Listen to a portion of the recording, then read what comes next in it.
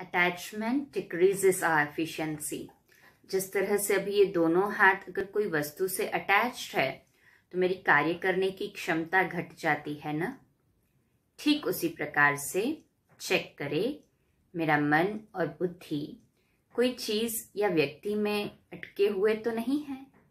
अपने लक्ष्य को सामने रखें और उस लक्ष्य पर केंद्रित अपने मन और बुद्धि को उसी दिशा की ओर आगे बढ़ाए। अपनी एनर्जी और एफिशिएंसी उसी में डाले।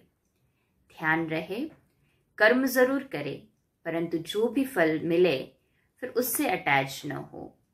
जब ये डिटैचमेंट आ जाएगी तो आगे की कार्य करने की क्षमता में हमारी एफिशिएंसी में कोई भी घटाव नहीं होगा, कम नहीं होगी एफिशिएंसी परंतु इरिस्पेक्टिव ऑफ़ द रिज़ल्ट उसी उमंग, उत्साह और खुशी से नेक्स्ट स्टेप को पार करने के लिए रेडी रहेंगे हम।